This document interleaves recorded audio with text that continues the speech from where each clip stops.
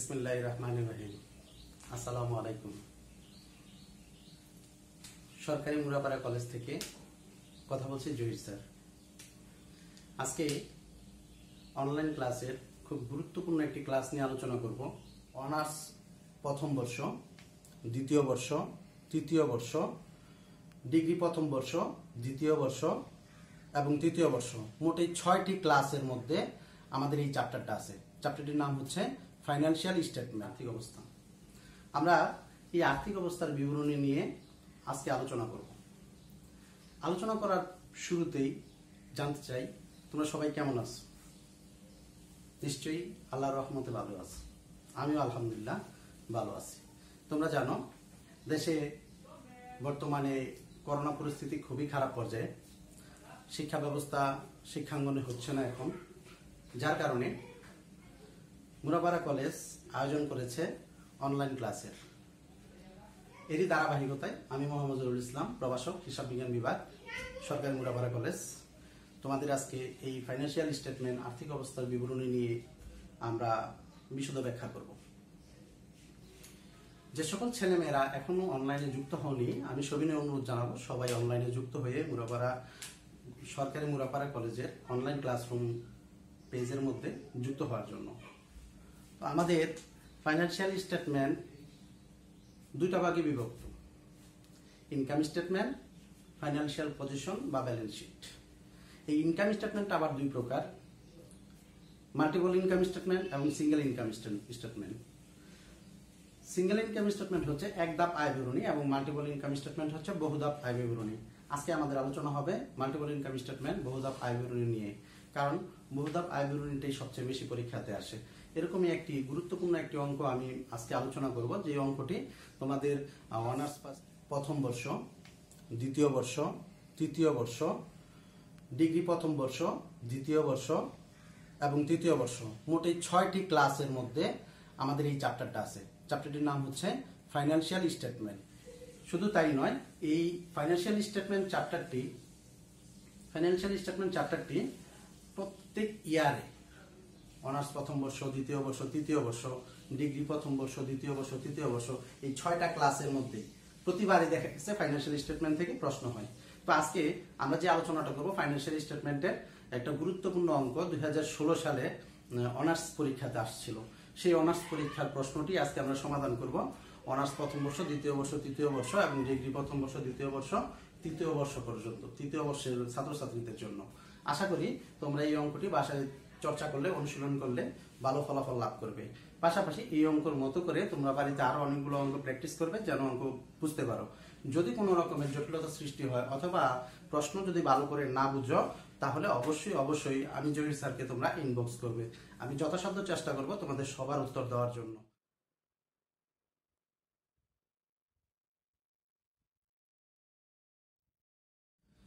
সুপ্রিয় ছাত্রছাত্রী আমি তোমাদের সামনে এখন একটি প্রশ্ন উঠেছি একটা ফাইন্যান্সিয়াল স্টেটমেন্টের একটি গুরুত্বপূর্ণ প্রশ্ন।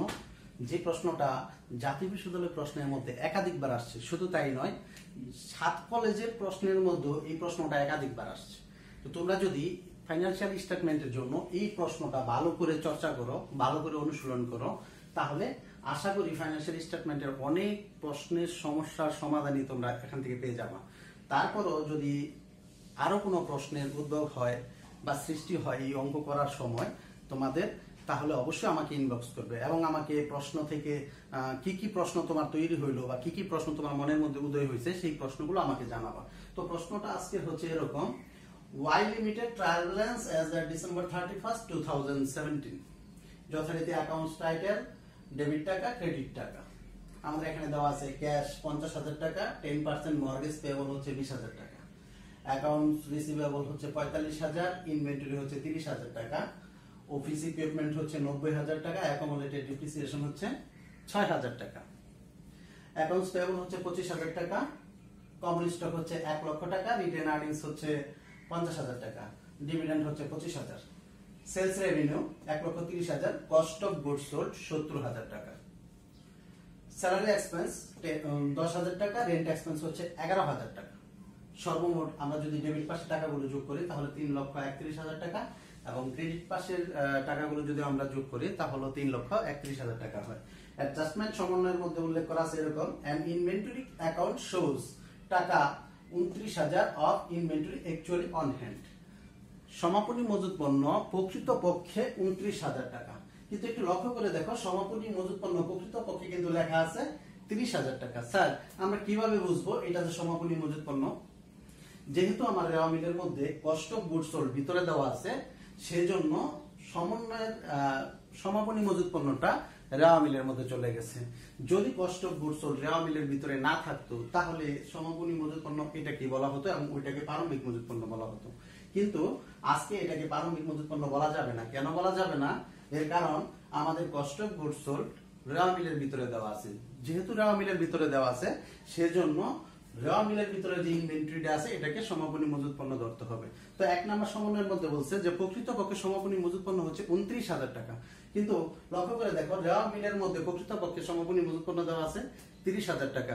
তাহলে কম আছে না বেশি আছে মিলের মধ্যে? হ্যাঁ গুড ধরতে পেরেছ। রেওয়া বিলের মধ্যে এক হাজার টাকা বেশি দেওয়া আছে সমাপনী মজুত পণ্য দুই নাম্বার সমন্বয়ের মধ্যে বলছে two month salaries were unpaid দুই মাসের বেতন, বকেয়া রয়েছে আনপেইড পরিশোধ করা হয়নি। তাহলে তোমরা জানো যে আমরা ফাইন্যান্সিয়াল স্টেটমেন্ট প্রস্তুত করি এক বছরের জন্য। আর এক বছর মানে হচ্ছে বারো মাস। তাহলে যেহেতু দুই মাসের বেতন এখনও দেওয়া হয় নাই বলতো রেওয়া মিলে কত মাস দেওয়া আছে? অবশ্যই যে রেওয়া মিলে দশ হাজার টাকা দেওয়া আছে, এটা দশ মাসের জন্য দেওয়া আছে। প্রতি মাসে এক হাজার টাকা করে। প্রতি মাসে এক হাজার টাকা করে দিলেই দশ হাজার টাকা হয় দশ মাসে। যেহেতু দুই মাসের বকেয়া বলছে, তার মানে দুই মাসে দুই হাজার টাকা বকেয়া আছে। তিন নাম্বার সমন্বয় বলছে charge five percent depreciation on office equipment বলা হইতেছে অফিস সরঞ্জামের উপরে পাঁচ পার্সেন্ট অপচয় ধরতে হবে। তাহলে আমরা অপচয় পাঁচ পার্সেন্ট ধরে ফেলব। সর্বশেষ চার নাম্বার সমন্বয় বলছে make provision for income tax thirty percent on net income before tax অর্থাৎ, কর পূর্ববর্তী নিট লাভের উপরে তিরিশ পার্সেন্ট আয়কর ধরতে বলছে। রিকোয়ার্ড তোমার করণীয় কি কি? Number one prepare income statement অর্থাৎ আয় বিবরণী প্রস্তুত করা এবং সর্বশেষ হচ্ছে প্রিপেয়ার ক্লাসিফাইড ব্যালেন্স শিট একটা উদ্বর্তপত্র আর্থিক অবস্থার বিবরণী প্রস্তুত করতে বলছে আমাকে। বর্তমান উদ্বর্তপত্রের নাম হচ্ছে ফাইন্যান্সিয়াল পজিশন এই যে আমরা প্রশ্নটা উপস্থাপন করলাম আশা করি তোমরা প্রশ্নটা বুঝতে পারছ। এবার এই প্রশ্নটা কীভাবে আমরা সমাধান করব, কীভাবে আমরা এই প্রশ্নটাকে থেকে অঙ্কের সমাধানটা করব, সেই অঙ্কের সমাধানটা আমরা দেখাবো। আসো, আমরা এই অঙ্কের সমাধানের মধ্যে যাই। প্রিয় ছাত্রছাত্রী, যে প্রশ্নটি উঠিয়েছিলাম, সেই প্রশ্নটা আমরা সমাধানে যাচ্ছি। তো লক্ষ্য করে দেখো রিকোয়ারমেন্ট এতে কি চেয়েছিল? মনে আছে তোমাদের? রিকোয়ারমেন্ট এতে চেয়েছিল ইনকাম স্টেটমেন্ট তো ইনকাম স্টেটমেন্ট করার জন্য আমাদের সর্বপ্রথমে এই রেভিনিউ এই রেভিনিউর মধ্যে দেখো তোমার প্রশ্নের মধ্যে দেওয়া ছিল সেলস রেভিনিউ ওই সেলস রেভিনিউটা আমরা বসায় দিয়েছি এক লক্ষ তিরিশ হাজার টাকা। এখান থেকে বাদ দিতে হবে আমাদের কস্ট অফ গুড সোল্ড তো কস্ট অফ গুড সোল্ড তোমার বইয়ের মধ্যে দেওয়া আছে সত্তর হাজার টাকা। কিন্তু মনে আছে কিনা জানি না, বলা হয়েছিল সমন্বয়ের মধ্যে। Inventory actually on hand twenty nine thousand উনত্রিশ হাজার টাকা। তাহলে এক হাজার টাকা আমার রেওয়া মিলের মধ্যে সমাপনী মজুত পণ্য কম ছিল। কম থাকার কারণে এখন যেটা করতে হলো সেটা হচ্ছে এই সমাপনী মজুত পণ্যের মধ্যে এক হাজার টাকা যোগ করে দিতে হবে। আর এটার আরেকটা কাজ আছে, সেটা হচ্ছে যখন আমরা ক্লাসিফাইড ব্যালেন্স শিট করব, তখন এই এক হাজার টাকা ইনভেন্টরি থেকে বাদ দিতে হবে। কেন? কারণ যেহেতু বেশি দেখানো হয়েছে ইনভেন্টরি সেজন্য ইনভেন্টরি কমাইয়া আমার বিকৃত পণ্যের ব্যয়কে বাড়িয়ে দিতে হবে। তাহলে সত্তর হাজার আর এক হাজার যোগ করলাম, যোগফলটা হলো একাত্তর হাজার টাকা। আমি যদি এক লক্ষ তিরিশ হাজার টাকা থেকে একাত্তর হাজার টাকা বাদ দিই তাহলে আহ, বিয়োগফলটা হয় উনষাট হাজার টাকা যেটাকে আমরা বলি গ্রস প্রফিট বাংলায় বলে মোট লাভ। লেস বাদ দিতে হবে এখান থেকে। কি বাদ দেব? অপারেটিং এক্সপেন্স অপারেটিং এক্সপেন্স মানে কি? পরিচালন খরচ। পরিচালন খরচ দুই প্রকার। অ্যাডমিনিস্ট্রেটিভ এক্সপেন্স এবং সেলিং এক্সপেন্স এই দুই ধরনের খরচগুলোকে শুরুতে আমরা দেখাই নিব। তো তোমার বইয়ের মধ্যে আমাদের মোট খরচ আছে তিনটা আজকে। একটা হচ্ছে স্যালারি একটা হচ্ছে রেন্ট এবং সমন্বয়ে একটা আছে ডিপ্রিসিয়েশন তো স্যালারি যখন দেখালেন স্যালারি তোমার প্রশ্নের মধ্যে ছিল দশ হাজার টাকা এবং সমন্বয়ের মধ্যে ছিল দুই মাসের বকেয়া আছে। তাহলে দুই মাসের টাকাটা আমি কীভাবে বের করছি? দশ হাজার টাকাকে দশ দিয়ে ভাগ করছি আর দুই দিয়ে গুণ দিছি। তো এই দশ হাজারকে দশ দিয়ে ভাগ দুই দিয়ে গুণ দিলে টাকা আসছে দুই হাজার। এই দুই হাজারের সাথে আমি যখন দশ হাজার টাকা যোগ করলাম, তখন টোটাল যোগফল হইল বারো হাজার টাকা। রেন্ট এক্সপেন্স সরাসরি প্রশ্নের মধ্যে দেওয়া ছিল এগারো হাজার টাকা, যার কারণে সরাসরি আমি বসাই দিছি এবার ডিপ্রিসিয়েশন এক্সপেন্স ফাইভ পার্সেন্ট তোমার বইয়ের মধ্যে ইকুইপমেন্ট দেওয়া আছে নব্বই হাজার টাকা। আমি যদি এই নব্বই হাজার টাকার উপরে পাঁচ পার্সেন্ট কাটি, তাহলে আমাদের অবচয় হয় চার হাজার পাঁচশো টাকা। তাহলে টোটাল অপারেটিং এক্সপেন্স বাবদ আমি মোট খরচ পেলাম বারো হাজার, এগারো হাজার, চার হাজার পাঁচশো। এই মোট তিনটা খরচ যোগ করলে সাতাইশ হাজার পাঁচশো টাকা হয়। আমি উনষাট হাজার টাকা থেকে সাতাইশ হাজার পাঁচশো টাকা বাদ দিলে ফলাফল পাই নেট অপারেটিং ইনকাম একত্রিশ হাজার পাঁচশো টাকা। এই একত্রিশ হাজার পাঁচশো টাকা থেকে আমি নন অপারেটিং এক্সপেন্স এর নন অপারেটিং এক্সপেন্সের আগে নন অপারেটিং ইনকাম দেখানোর কথা ছিল, কিন্তু প্রশ্নের মধ্যে নন অপারেটিং ইনকাম নাই। নন অপারেটিং ইনকাম কোনগুলা? যেমন বিনিয়োগের সুদ, শিক্ষানবিশ সালামি এই জাতীয় কথাগুলো। কিন্তু আজকে আমাদের প্রশ্নের মধ্যে নেই, না থাকার কারণে আমি যেটা করলাম সেটা হচ্ছে আমাদের নন অপারেটিং এক্সপেন্স শুধুমাত্র একটা খরচ আছে, সেটা হচ্ছে মর্গেজ পেয়েবলের উপরে দশ পার্সেন্ট সুদ ধরতে বলছিল। তো মর্গেজ পেয়েবল আমাদের প্রশ্নপত্রে টাকা দেওয়া আছে বিশ হাজার টাকা। বিশ হাজার টাকার উপর দশ পার্সেন্ট কাটলে আমরা টাকা পাই দুই হাজার টাকা।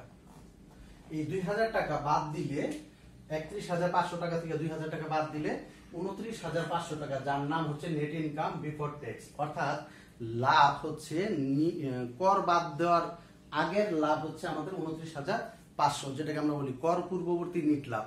এই কর পূর্ববর্তী নিট লাভের থেকে ইনকাম ট্যাক্স তোমার প্রশ্নের সমন্বয় নাম্বার চার, যেখানে বলে দিছিল তিরিশ পার্সেন্ট ট্যাক্স দিতে হবে। তাহলে উনত্রিশ হাজার পাঁচশো টাকার উপরে তিরিশ পার্সেন্ট ট্যাক্স দিলে টাকা হয় আট হাজার আটশো পঞ্চাশ টাকা।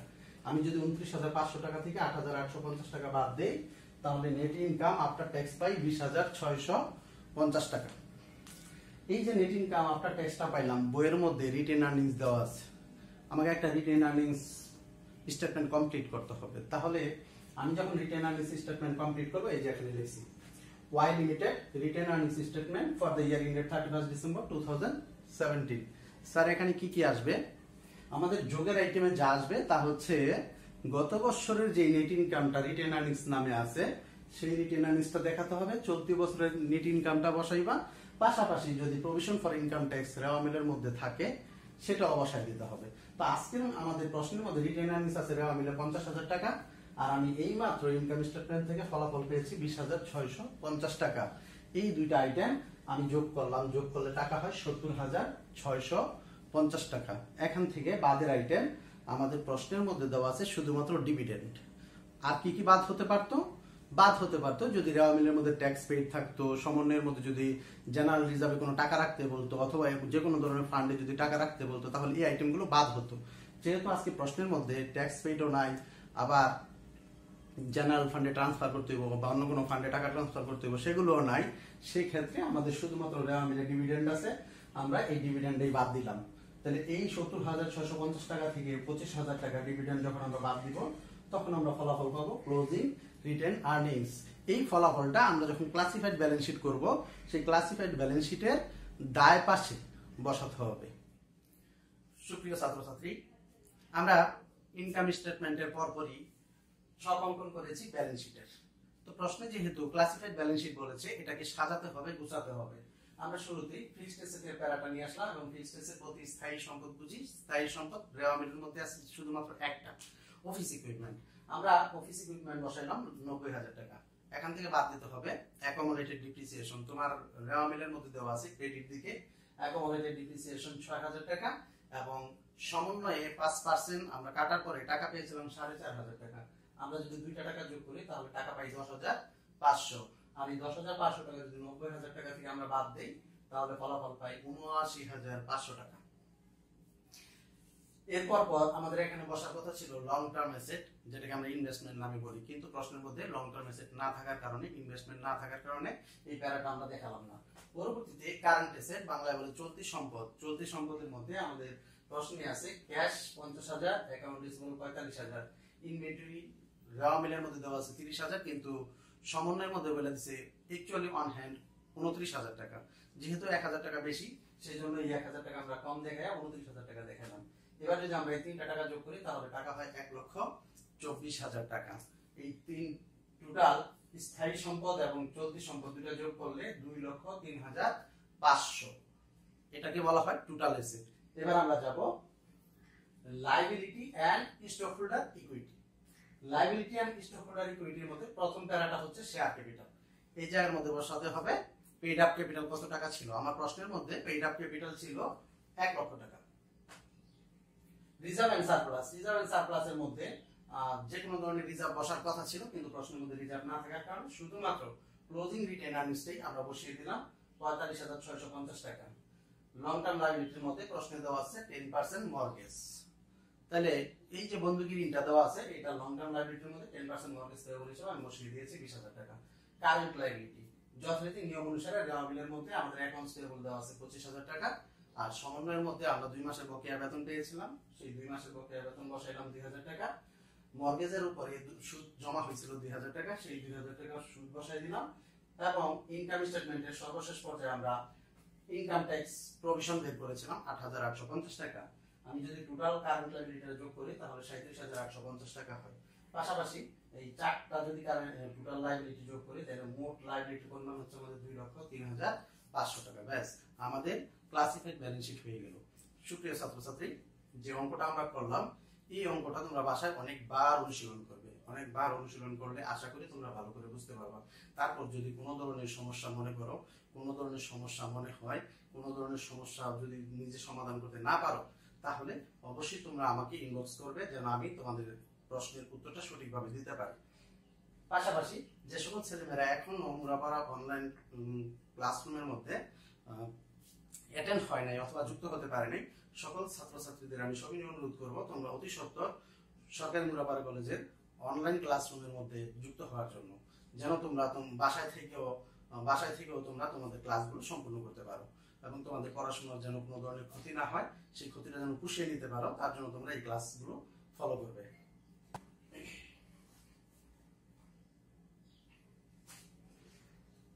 আজ আর নয়, সরকার দেওয়া স্বাস্থ্যবিধি মেনে তোমরা সবাই বাড়িতে অবস্থান করবে এবং সবাই, সবার সুস্বাস্থ্য কামনা করে আজকের মতো আমি জহির স্যার বিদায় নিচ্ছি। আল্লাহ হাফেজ।